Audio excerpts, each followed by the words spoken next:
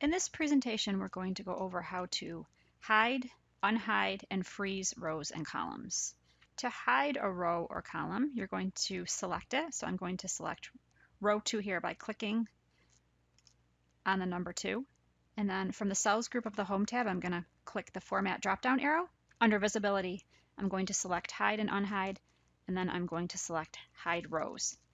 So now you'll see on the left here that my row still exists, even though we go from row 1 to 3.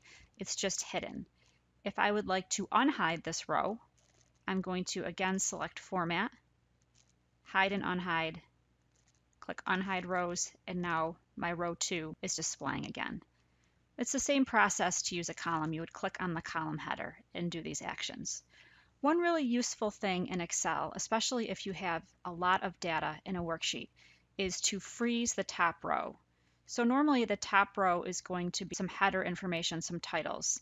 So to freeze my row, I'm going to select row 1 by clicking on 1, and then I'm going to select the View tab.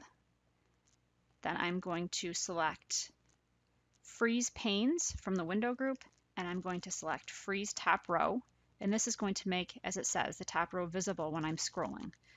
So now if I'm scrolling my data, you can see that row one does not move. So this is a convenient way to keep that row visible while you're working with data. Coming up, you'll complete an exercise on working with rows and columns.